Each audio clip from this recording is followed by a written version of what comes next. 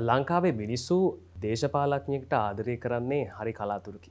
එහෙම ආදරය කරන චරිත ඉන්නේ හරි අතලොස්සක් කිවතින් නිවැරදි. චැතම ස්ට්‍රීට් අද අපේ කණ්ඩායමත් සමඟ එකතු වෙන්නේ ටපු කතානායක කරු ජයසූරිය මෙතතුමා අයිබුවන් අයිබොනතුවයි. කරු පායයි හිරු ඒබතුමාගේ පලවෙනි සටන් පාටය ඒ සටන නං ඔබ දිනවා ඒ අපි හිතුවේ ඔබ කවදහ රටේ හිරුවෙලා පායයි කියලා. එහෙමුණේ නැත්තේ ඔබතුමා ඕනට පරිත්‍යාග ශීලී වුණ නිසා. ඕක මංහිතන පියවර දෙහකින් මං කමිති පිළිතුරු දෙන්න. ඒක මම සටන් පාටයක් වසෙන්න්න මේ යනකන මාව දේශපාලනය පළවෙනි වතාවට ආපු අවස්ථාව මැක්සජ් මම කෙලින්ම දේශපාලනයට නිවිල්ලා තිබුන්නෑ නමුත් මම මගේ පසුබිම මගේ ඥාතිපාර්පුරයෙන් පල් පස්බිම දේශපාලට සම්බන්ධ වෙනවා. මගේ මවපාර්ශයෙන්ම මගේ මාම තමයි අත්තනගල්ලේ ආසනය තරන් කළේ එක්සත් ජාතික පක්ෂයෙන් බණ්ඩාන්නායක මැතිතුමත් බණ්ඩානායක මැතිනියත් සමඟ. නමුත් මේ අවස්ථාවට ලැබුණේ තානාපති වස්සයෙන් ජර්මනී ඉඳලාවට පස්සේ රල් වික්‍රමසිංහ මැත්තුමට ආරාධනය කළ දේශපාලටෙන්ඩ කියල මං එකට කැමැත්තත් තිබුන්නේ. ඊට පස්සේ එතුම මම පත් කරලා තිබුණා විදායක කාරක සභාවට එතැන්දී අවස්ථාවේදී එතුමා මට යෝජනා කලා පළමෙන්ම ඉදිරිපත්වෙන්ට කියලා කොල්ම නගර සභාවේ නගරාධිපති පදවියට.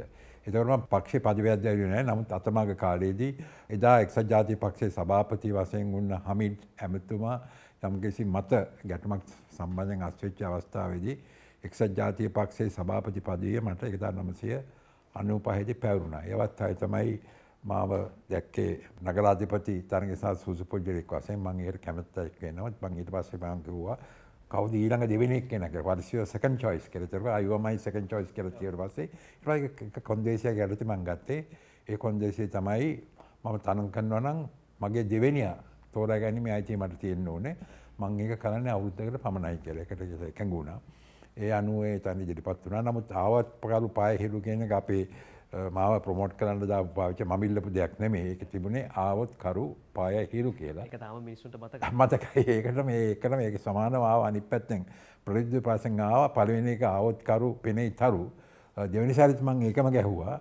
ඒක ගෑවක් කරුගේ වට හොරු කියල. ඊට පහ මන් ජීවිතක ජීවිතම ගැ පොස්ටර් දෙක එකත්තමයි ඔය ආවත් කරුපාය හිරුකෙන මං කැමැත්තෙන් නෙමේ නමුත්තේ මගේ ඇඩරයිසින් ඒජන්ස්ල බලකරක හිද කළේ දෙවැනි එක තමයි මගේ නොම්බරේ සුපිරිසු දේශපාලනයක් සඳහා කරුජයිස්වරේ නොම්බර දහතුනි කළ වැදගෙන ඉන්න පොට ඒ කාලේ තමයි ඇබලි පිටියාර මිනිියෝලු හොයන කාලේ මන්දක හැම දැනම කොළඹ ම වැදකරන්න අධ්‍යකෙන් මගේ ඔලුවේ තියෙන මිනිියෝලුවක් ඒ විදියට තියල. ඉතින් එතැන්දී ඇත්තම කියනනම් මට ම වාසනාවන්ත වන ඉතාමත්ම හොඳ කණ්ඩායමක් මට ලැබුණා නගර සභාවදී. මම හැමලාම කණ්ඩායම සංකල්පය දියුණු කරන්න ගැන කණ්ඩම් කණ්ඩායම සංකල්පය විශ්වාස ගැන පුද්ජලිකාස ඉඳලා හමුදා විඳ එනකොට බැග්‍රවුන්් එක තුළ.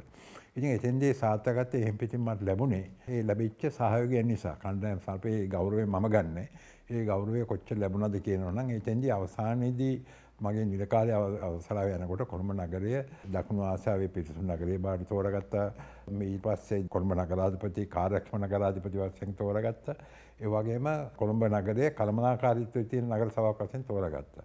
ඒ ගෞරවය මං එහෙම පිළිම දෙනවා. ඉතින් ඒ කාලේ අපි හුඟක් දේවල් කරන්න පුළුවන් වුණා. එතන එහාට දේශපාලනේ මම කිසිම අවස්ථාවක පුරකාලා ගියේ නැහැ.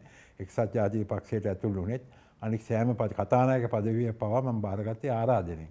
තරම් කළා පුරකාලා ගැනීම මට සිරිතක් නැහැ. ඉතින් ඒ නිසා විවිධ අවස්ථා තිබුණා දේශපාලන ජීවිතයේ දැන් 2015 දී මට ආරාධනයක් තිබුණා ජනාධිපති පදවියට තරම් කරන්න කියලා. එතෙන්දිත් විවිධ මත තිබුණා. ඉතින් මම කිව්වේ මම සියලු දෙනාගේම එකගත්තෙන් එනවා නම් මිසක් මට රණ්ඩු කොල්ල පොරකාල ඉල්ලුම් කල ගන්න අවශ්‍යාවක් නෑ කිය. මෙතරම් කාලයක් නොකිලිටි දේශපාලනය ඉන්න හරි අමාරුයි. තාඩන පීඩන වැඩි එක දරාගත්ත කොහොමද. තමන් හල්ද සාක්ෂයට එකඟව කටයුතු කරනවා නම් මහිතන් ඒ අපසු කාරයක් මම මතකෙන්නේ මේ අවවාද දෙනවා දේශපාලනයට ඇතුල්ලන්න සෑම තරණ තරණයකටම දේශපාලට බැතුල්වෙන්න පිරිසිදු දෑතකින් යම් දවසක දේශපාලනයෙන් අයින් වෙනකොට ඒ දෑත පිරිසිදුව ලිය නැතුව මට නැතුව අයින්ෙන්ට පුළුවන්නම් ඒක තමයි දේශපාලනය ලබාගන්න පුළන් ලොකම ජයගන්න මොන පදවිය ආවත් කියලා. ඉතින් එහෙම ඒ පයි ඒක ආවාදමන් දීලා පිළිගන්න ඇත්තින්නවා. අනික් එක තමයි විශේෂ ප්‍රතිපත්ති ගරුකනම් ප්‍රතිපත්ති ගරුකන ලැජ්ජ බය තියෙනවන. බය කියන එක බය කියන දෙපැත්තක් තියෙනවා. මරණයට බයන්නේ බය කියන්නේ ලැජ්ජාවට බය. ලැජ්ජාවට බය වෙ දේවල් තමයි සමාජ විරෝධී වැඩ කටයුතු කෙරෙන්නේ.